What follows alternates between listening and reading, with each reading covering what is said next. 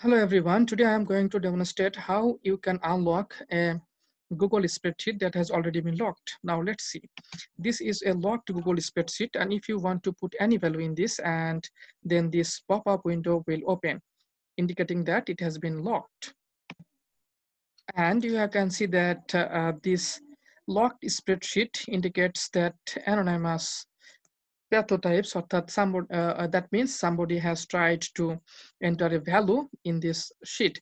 Uh, in this uh, row now i am going to unlock this and to unlock this i have to i have to i have to choose the data then go to the protection and now this unlocked data sheet which has been locked already now comes up in this range. The range of the sheet that has been locked has been uh, is displaying in this in this line.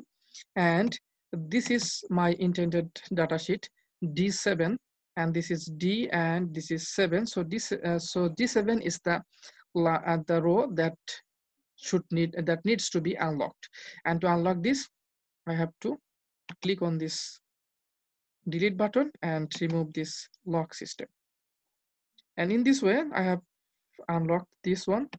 Now let's see what happens whether this has been unlocked or not. Now now you can put the value. That means it has been unlocked. This is another window and this indicates how we can unlock the spread